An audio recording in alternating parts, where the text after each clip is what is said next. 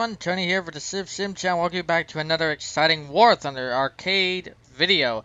I'm your host Tony for the Civ Sim channel. And uh, we're taking up the uh, mighty Italians. Yes, we are taking up nothing but the Italians, uh, the uh, Flogglers, the uh, early um, low-tier Italians. Um, now, uh, the the uh, footage you're seeing right now is uh, some stock footage. I really, really meant to get this out uh, a long time ago. This is back when I was doing the challenge for the uh, TB3 um, uh, bomber, and I just never got a chance to get it out. So I'm finally getting it out now. I'm gonna set this guy. Come on, come on. I'm I gonna get him? I'm I gonna get guy hit on him? Let's see what I can do. It's been so long I don't even remember what I did uh, with this. But uh, without further ado, let's get into the action as I talk about the Italians and uh, we take this guy. Come on. Come on. Stop moving. There we go. Hit. Crit. Is he going down? Yes. Alright. Oh, and I also failed to mention we're also going to be doing a realistic battle after this, so you can skip forward uh, if you want that realistic gameplay. Now, am I gonna go for him? Uh, that BF 109's a tad high. I'm gonna make it. Nah. Let's see here. Ah, JU87. I think I'm gonna go for him. Alrighty, Mr. JU87, prepare to meet your maker. And let's see there. What the? Oh. Oops. Well, that didn't go as planned. JU87D. What type is that one?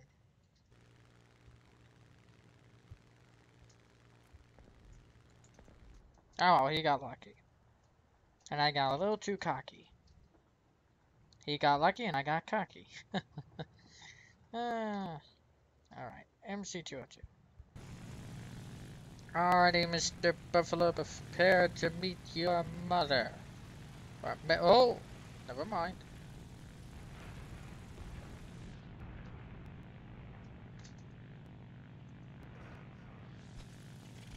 maneuvers yet? Alright, where is that guy?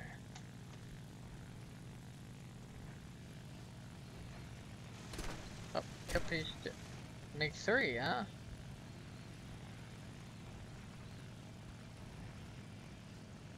Don't see him though. Where is he?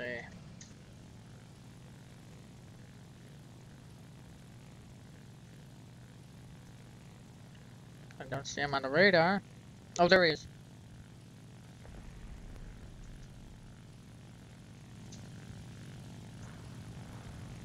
Oh, there's that JU-87 again.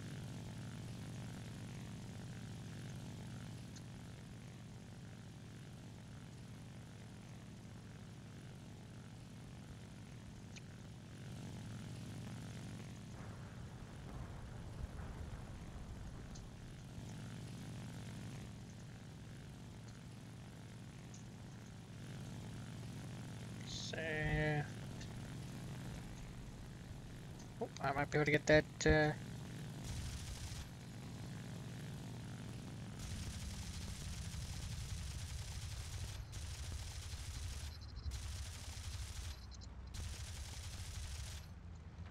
A hit.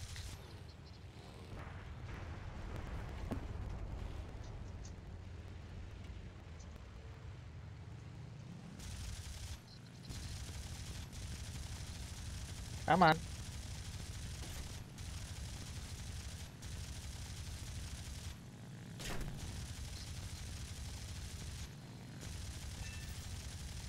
There we go. Come on, crash, crash.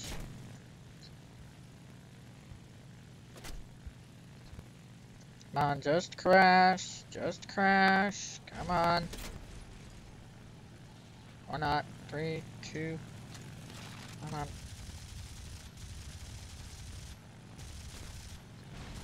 Oh. Come on, come on, go down, go down. Go down, go down, come on. Yay, there we go.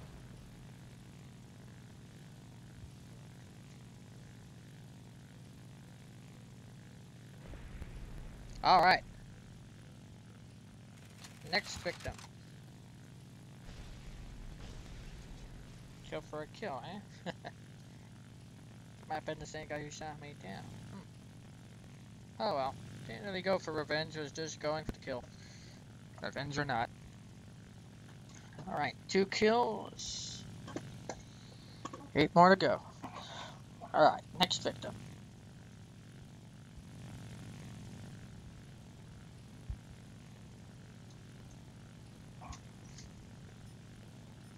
Cut boxes. Oh, team's losing actually. What? Two kills. Hmm. Alright, well let's go for three. Oh, oucher. Go for a ground target, just in case we lose. Okay, 10, I'll get you in a second.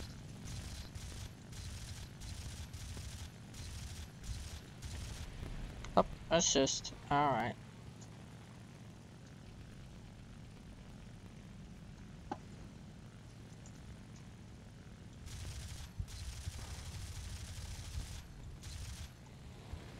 Because that wing is making it a little bit harder.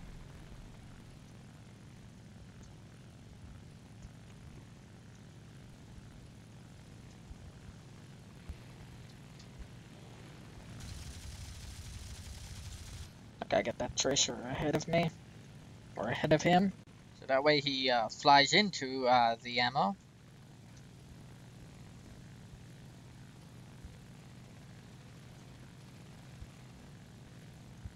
Yep, but doesn't want to flip. It's too damaged. Oh dear. Okay, come on. There we go.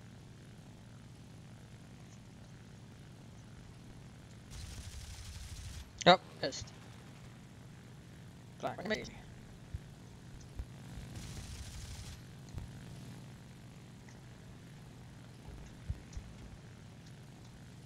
Oh, that's not helping at all.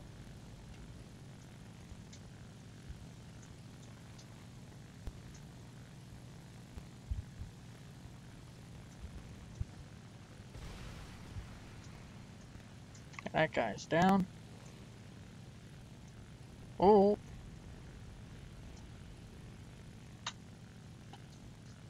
Oh, my engine's gonna go soon. This might be one of those times where I just have to repair. Hmm.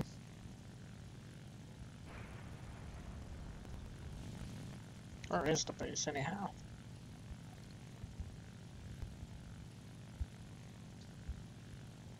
Okay, so we're heading for it. Mm. Oh, and that's the game. Alrighty, ladies and gentlemen, I hope you liked that uh, arcade battle, and now uh, we're going to take the uh, Flogler, um, Flogler, however you pronounce it, uh, this uh, wonderful Italian plane, uh, up into the skies in a realistic, formerly known as historical battle. We're to see uh, how it uh, handles. So let's do this and uh, get into the action. I will be uh, skipping just a little bit um, um, and making a transition here from the runway uh, to the action because uh, one of the things with realistic battles is that it does take a, quite a long time to get into the action. Uh, but uh, through the miracle of TV editing or video editing, I should say this isn't on TV. Eh, you might be watching it on TV. I don't know. Uh, you might be watching it on an iPhone. I don't know. Maybe you're not watching it at all by this point. Maybe only one or two of you, and most of you left because the beginning wasn't as interesting. I mean, hey, only two kills in an arcade battle. That's not that interesting. But uh, for most players, that tends to be an average. Uh, and in realistic battles as well. In fact, realistic battles, it's more common that you'll get two kills, although it's not uncommon for a very, very good player to get five kills occasionally. Although a lot of times those five kills include the bots. And let's see, using a lot of speed here, lots of enemies there. Now, I'm not going to turn it, I'm going to loop around here, keep that speed, at least some of that speed.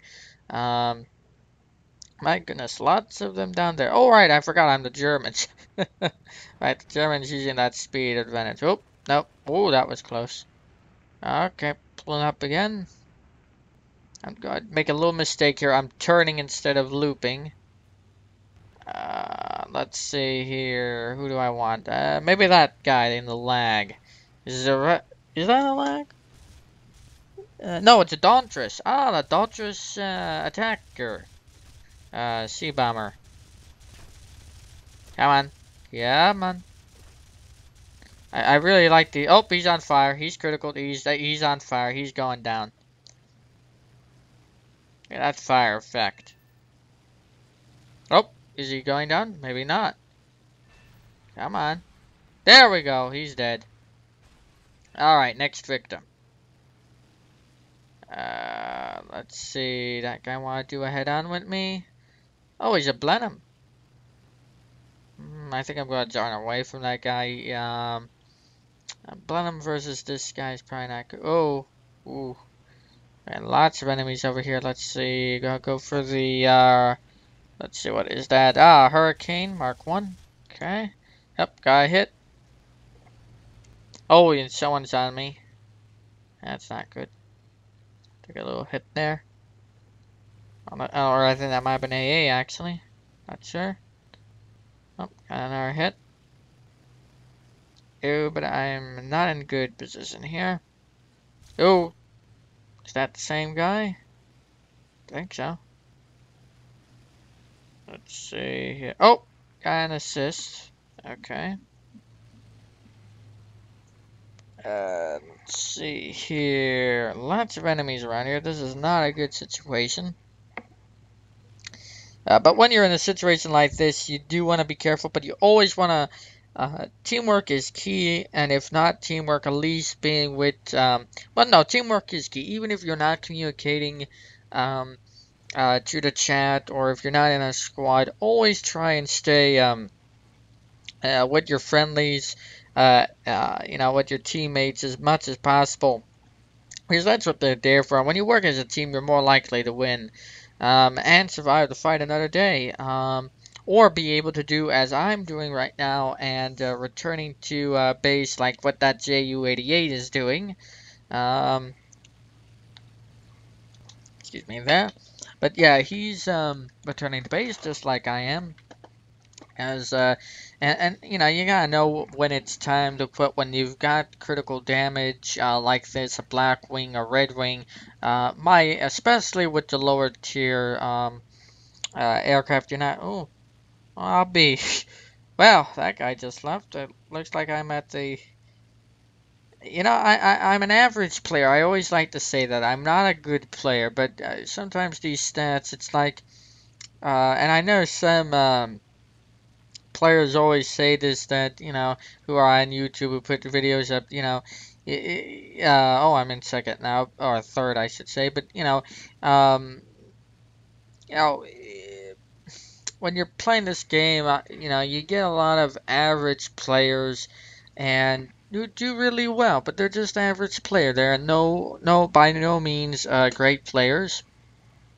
Um, and, uh, you know, every game you're going to have a game that sucks and a game where you're great, you're just going to be average. You know, very rarely do you have consistent, you know, 10, 20 kill streaks. You definitely don't have 10, 20 kill streaks uh, in uh, realistic battles. Now, you see what I'm doing right here. Oh, not sure what I did that loop there. I guess I was testing my uh, you wouldn't want to do that in a regular plane, but I mean, I am trying to, when I was uh, moving left to right in those S-turns, I was trying to slow my plane down. I'm bringing down my flaps, lowering my engine, because I don't want to crash. Uh, let's see, I think that JU-88 is, made it safely. I think he did. So now we're going to uh, land. Uh, but yeah, most players are average uh, and have average games, and that's why I put these up. Uh, if I could, if it wasn't already taken, I'd say my name was the average gamer. Uh, and now we're gonna make a, a little bit of a average pilot landing here, although I'm sure most pilots would be complaining about those trees over there, which should not be there. Okay, we're on final now. Up he came in a little too fast and crash landed. There we go. And we bounce a little. That's okay. And I think, yep, we're down. And a big, thing about this is trying to stop without getting the nose over. Can I do that? No, come on. Stay up, stay up. No, no, no. Oh, whoops. Ah, well, that happens. Oh. The, uh, uh, prop kissing asphalt landing. Uh, not a good thing.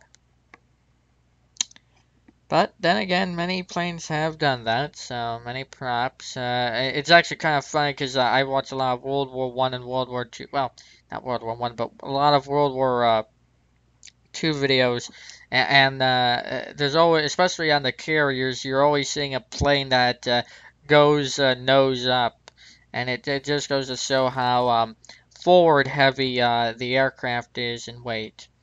Alrighty, we've now been repaired and we're about ready to go. I Ah, there's that Ju-88 he also repaired. And uh, there's an HE-112 over there, another great uh, aircraft for the Germans. And one of the things that I really hope, uh, well, I don't know, I'm not sure. I don't think the Italians ever had, you know, a very good line of aircraft or jets or anything. But it would be nice to see some more advanced jets. But then again, during the war, you know, the Italians, uh, well, the Italians are very interesting because the Italians in World War One uh, were with the Allies. Then, of course, Mussolini uh, during um, the revolution happened at the time when ideology started to uh, be a, a, uh, big thing when uh, kings and everything was being replaced by well either democracies or dictatorships. And uh, Italy went uh, to the autocratic dictatorship with um, Mussolini. And um, so uh, during Mussolini's rule Italy was with Germany. So um, they stopped making aircraft like this beauty, and I mean, look at that beautiful cockpit. Um, Gaijin really does a good job uh, with these aircraft. Um, but yeah, so uh, uh, Italy went and joined uh, with Hitler, uh, true Mussolini, and uh, for most of the war until it was obviously taken over by the uh, Allies. And then uh, what most people don't know, but actually did happen, is that uh, the new Italian government actually joined the Allies and uh, went to uh, war uh, against Germany. Uh, and of course, then using Allied planes. No history there. And, you know, it's always interesting with these realistic battles. how it kind of imitates more realistic fighting. Uh, you know, if you die in this plane, you can't. it's like you actually would fly, um, you know, uh, in history. Um, you know, if the plane crashes, well, you're dead. You don't just, you know, get to respawn, and the flight models are more realistic. So, uh, realistic really is a very uh, good uh, type game. If you can get over the boredom of uh, flying for 10, 15 minutes, um, doing, well, absolutely nothing. And um, so, um, yep, now of course uh, the uh, old group work is coming in. Here, talking about uh, grouping at A, there's that Ju-88. I'm flying high again.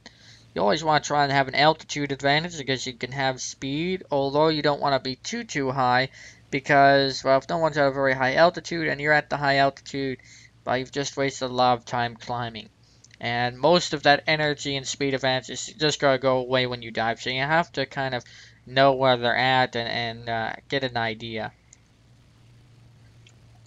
Generally, for low tier games like this, you're going to be at low altitudes. Uh, when you get in games with LA5s and Focke-Wulfs, those are going to be your high tier battles. I definitely see it. Uh, most of those who play LA5s tend to go quite high um, for some reason. I believe it's because the LA5 is a good climber. I'm not sure. I think it is. Yeah, Focke-Wulfs and LA5 very, very similar um, uh, late uh, prop era uh, fighters. And uh, just the scouting over here, again trying to keep uh, the tide or turn the tide on this game. Again, it can always go back and forth, and one or two players can make all the difference in a game. Let's see, 13 enemy units. Uh, we only have 11 of our ground forces. Let's see, where are they?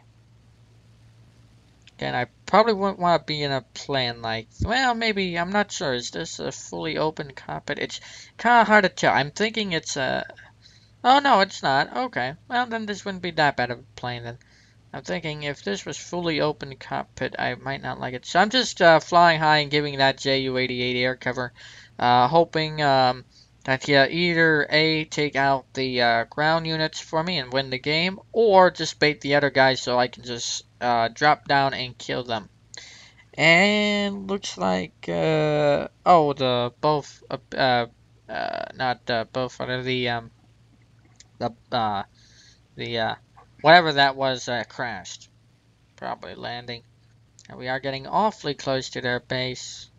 Oh no, bombing points. But we are heading towards their base, which is never a good thing. You never want to, um, especially if you have more, um, see there's their base over there. You never want to go towards your base um, if you have more than uh, one or two enemies left. That's never a good idea. In fact, it's always a good idea to just have them come to you uh, and to your base so that way you've got AA cover over yourself, um, which is quite powerful. And we'll think someone's got the drop on me.